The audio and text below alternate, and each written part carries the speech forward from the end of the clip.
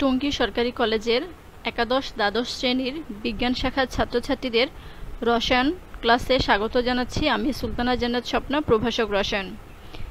প্রিয় শিক্ষার্থীরা, আমি তোমাদের রসায়ন প্রথম পত্রে দ্বিতীয় অধ্যায় পড়াচ্ছি। তো আজকের লেকচারে আমি তোমাদেরকে পড়াবো ক্রোমাটোগ্রাফি সম্পর্কে। তো প্রথমেই আসো, ক্রোমাটোগ্রাফি কি? ক্রোমাটোগ্রাফি অ্যাকচুয়ালি একটি পৃথক করার একটি পদ্ধতি। যে তোমাকে যদি একটি আণবিক মিশ্রণ দেওয়া হয় তাহলে সেই মিশ্রণে যে উপাদানগুলো রয়েছে, সেই উপাদানগুলোকে পৃথক করার একটি পদ্ধতি হচ্ছে ক্রোমাটোগ্রাফি।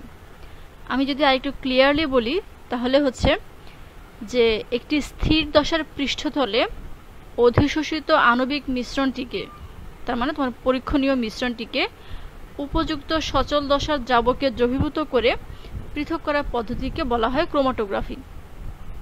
আমরা যখন মূলনীতিটা পড়ব, তখন আমরা এই সংজ্ঞা সম্পর্কে আরেকটু ক্লিয়ার হব। তো মূলনীতিটা কি সেটা এখন বলছি। তো ক্রোমোটোগ্রাফি, যত প্রকার ক্রোমোটোগ্রাফি রয়েছে, সবগুলো ক্রোমোটোগ্রাফিতেই তোমার দুটি দশা রয়েছে।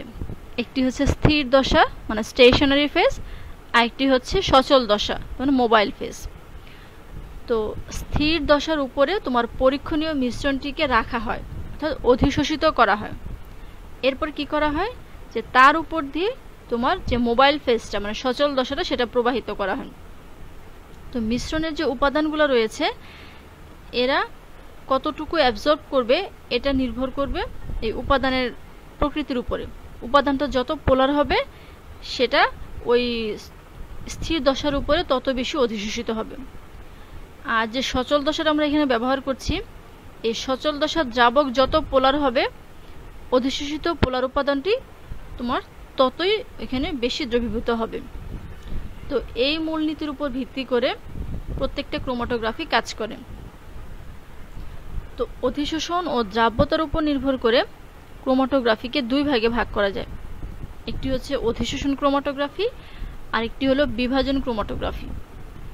তো অধিশোষণ ক্রোমাটোগ্রাফি ভিতরে রয়েছে তোমার স্তম্ভ ক্রোমাটোগ্রাফি বা কলাম ক্রোমাটোগ্রাফি। আর পাতলা স্তর ক্রোমাটোগ্রাফির ভিতরে রয়েছে থিন লেয়ার ক্রোমাটোগ্রাফি যাকে বলা হয় টিএলসি আর বিভাজন ক্রোমাটোগ্রাফির ভিতরে রয়েছে কাগজ ক্রোমাটোগ্রাফি বা পেপার ক্রোমাটোগ্রাফি আর হচ্ছে গ্যাস ক্রোমাটোগ্রাফি তো এখানে যে ক্রোমাটোগ্রাফিগুলো রয়েছে, এর মধ্যে আমরা কলাম ক্রোমাটোগ্রাফিটা নিয়ে আলোচনা করব। তো মূলনীতি যখন বললাম, তখন আমরা বললাম যে প্রত্যেকটা ক্রোমাটোগ্রাফিতে দুটি দশা রয়েছে।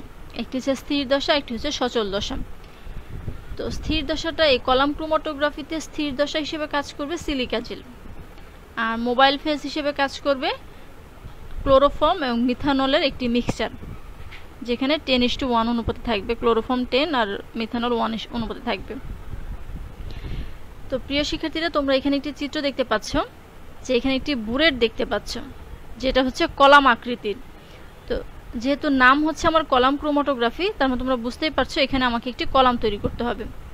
তো কলামটা আমরা কীভাবে তৈরি করব? একটি বুলেটের ভিতরে যে যে স্থির দশা সিলিকা জেল এই সিলিকা জেল দিয়ে আমার এই কলামটি তৈরি করতে হবে। তো আমার এই স্থির দশা, আমার সিলিকা জেল আমি রাখলাম। তার উপরে আমি কি করলাম? আমার যে পরীক্ষণীয় বস্তুটা স্যাম্পলটা সেটা এখানে অধিশোষিত করালাম। করানোর পরে এর ভিতরে আমি এখন মোবাইল ফেস বা সচল দশা যেটা মূলনীতিতে বলেছি, যে স্যাম্পল রাখার পরে তার উপরে, এর উপরে মোবাইল ফেসটা দেওয়া হয়, সচল দশা দেওয়া হয়। তো এখানে আমরা যে মোবাইল ফেসটা দিলাম, দিলে কি হবে? এই এদের উপাদানের উপর নির্ভর করে এরা দুইটা ভাগে ভাগ হয়ে যাবে। মানে উপাদান মিশ্রণ থেকে উপাদানসমূহ পৃথক হয়ে যাবে। পৃথক হয়ে যাওয়ার পর যেটা হচ্ছে উইকার ইন্টারেকশন সেটা হচ্ছে তাড়াতাড়ি আমার বের হয়ে যাবে। আর যেটা হচ্ছে স্ট্রঙ্গার ইন্টারেকশন হবে, সেটা ধীরে ধীরে বের হবে। দেখো, তোমার এখানে যে স্যাম্পলটা ছিল, সেই স্যাম্পলটা অথবা মিশ্রণটা, এই উপাদানগুলো পৃথক হয়ে গেল। পৃথক হয়ে যাওয়ার পরে, ধরো আমরা এ আর বি দুইটা উপাদান, দুইটা একটা মিশ্রণ নিয়েছিলাম, এনে পৃথক হয়ে গেল। যেটা হচ্ছে আমার দুর্বল ছিল, সেটা অত বেশি এর সাথে অধিশোষিত হয়নি, ফলে সে তাড়াতাড়ি এখান থেকে বের হয়ে আসলো। আর যেটা স্ট্রঙ্গার ইন্টাকশন ছিল, সেটা ধীরে ধীরে বের হচ্ছে। তো এখানে যেহেতু দুটোর কালারটা আলাদা, আমরা খুব ভালো করে বুঝতে পারছি। এখানে এদিক থেকে আমরা কালেক্ট করলাম। তারপরে যেটা হচ্ছে স্ট্রং ইন্টারাকশন ছিল, সেটা হচ্ছে ধীরে ধীরে এর ভিতর দিয়ে আসছে মোবাইল ফেসের মাধ্যমে আসছে। পরে আমরা সেটাকে কালেক্ট করলাম। এইভাবে আমরা এই একটি স্যাম্পল মানে মিশ্রণ থেকে এই উপাদানগুলোকে আলাদা করতে পারি। তো প্রিয় শিক্ষার্থীরা, এইভাবে আমাদের কলাম কলাম ক্রোমাটোগ্রাফি কাজ করে।